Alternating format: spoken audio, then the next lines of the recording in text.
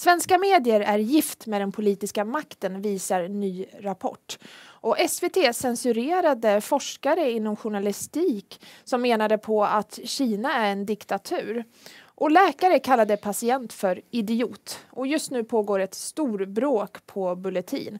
Med mig för att kommentera dagens nyheter har jag Emmy och Rebecka. Vi börjar då med att eh, ja, SVT censurerade den här välkände forskaren som menade på att Kina är en diktatur. Ja, det handlar då om Joje Olsson som är en välkänd forskare inom eh, journalistik. Han har tidigare blivit utslängd från Kina för att han kritiserar kinesiska makten och nu intervjuade då SVT Sport honom inför en eventuell bojkott av OS OS i Peking. Och där eh, efter att den här då sändes hade de klippt bort de delarna där den här personen då var, eller Jojje Olsson var kritisk mot Kina och kallade dem en diktatur och liknande.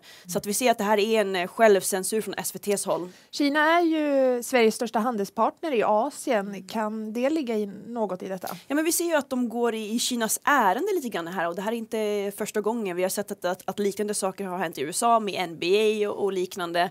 Så jag tror att visst är att man går i Kinas ärende ärende. Men jag tycker att det är lite konstigt här. Vem försöker SVT egentligen försvara? Varför kan man inte kalla en spade för en spade och framförallt nu i detta fallet? Och vi har ju sett att det är inte första gången som Nej. Kina väljer att på något sätt utpressa svenska medier och liknande. Vi har ju sett att de har, eh, Kinas ambassad har sagt att Eh, mot eh, det underhållande programmet Svenska nyheter att de ska sätta till lämpliga åtgärder om de inte ändrar sin attityd gentemot Kina, vilket är väldigt, mm. det, det, det, är lite läskigt att man ska behöva känna konstant att man är, har hökögon på sig Precis. från Kina. Mm. Det är anmärkningsvärt. Mm. Men vi går vidare då med att eh, AT-läkare ska ha kallat patienter för idioter och att de ska varit besatta av sjukvården.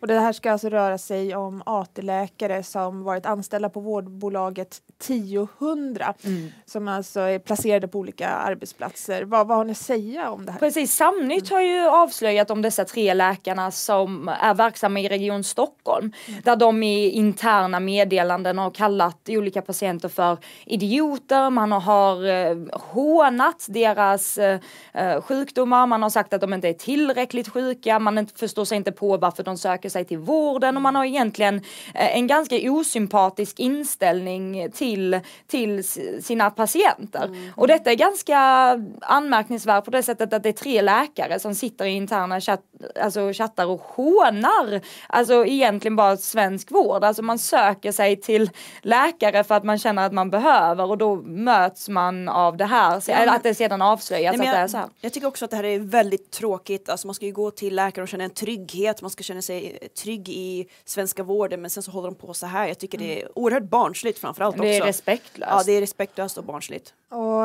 1000s HR-chef då, eller direktör Louise Westin, hon ska ha sagt att det här är som ni säger precis respektlöst mm. och uh, att bemöta patienterna på det här mm. viset. Och enligt Samnytt så har de kvar sitt jobb och detta ska ha inte haft väldigt stora konsekvenser för de här läkarna vilket är också väldigt anmärkningsvärt. De har ju etiska regler som de följer så. Mm. Ja. Då går vi vidare då med att svenska medier i princip är gift med makten. Detta visar alltså en ny rapport från Göteborgs universitet som visar att svenska medier har varit dåliga på att kritiskt granska makten och framförallt Sveriges coronastrategi. Ja, nej, men jag blir inte alls förvånad över det här. Det kunde man märka till och med innan den här rapporten kom ut. Alltså, det här handlar förstås om SVT och Dagens Nyheter och liknande. Och, Aftonbladet. Ja, precis. Mm. Och då, det är väl klart att de inte har granskat eh, makten utan mm. Man, man har ju sett olika typer av rapporter där de inte ens är kritiska. Man har sagt att man har använt eh, besl eh, beslutsfattarnas verktyg att generera en stämning av lojalitet bland medborgarna och eh, med regeringen och med myndigheterna. Mm. Och det känns som att var, varför ska man försöka generera en lojalitet istället för att faktiskt kritiskt granska det som behövs granskas för att ge ut rätt information till medborgarna. Mm. Och detta kommer ju bara resultera i ännu mer, alltså eh, man, Man har ju inte förtroende, man har inget förtroende för den opartiska och oberoende medien i Sverige. Public service är så opartisk, Ja, hur? Och, och det, här, det här rapporterar även tidningen Journalisten om. Alltså att, att svenska medier har varit väldigt dåliga och hållit liksom beslutsfattarna om ryggen. Men utländska journalister ska ha varit bättre då på att kritiskt granska just Sveriges strategi. Ganska intressant varför det är så. Men, Men inte förvånande, ja, inte ett inte dugg förvånande. Exakt. Mm. För Sverige har ju varit i särklass till exempel sämst när det kommer till, eh, ja vi har ju 13 000, uppemot 30 000 dödsfall i corona. Och, och man 13 jämför- 000. 13 000 Mm. sa jag. Mm. Ja.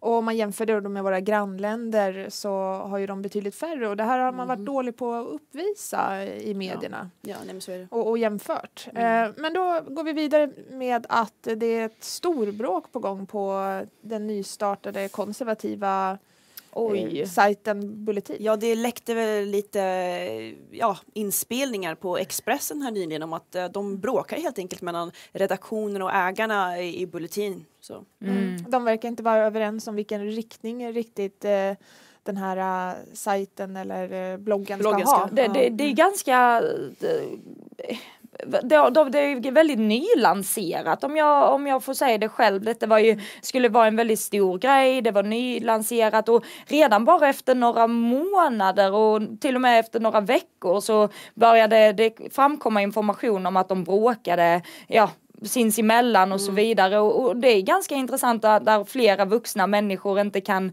hålla igång den här bloggen eh, ja, vid liv efter bara några månader men man får ju helt enkelt följa utvecklingen. De, Ja. kommer, de har ju i alla fall Mustafa Panshiri som kanske kan rädda och, och, och man kan ta rygg på honom och hoppas att Bulletin går vidare. Tack så jättemycket Emma och Rebecka för era kommentarer och tack för att ni tittade på Riks.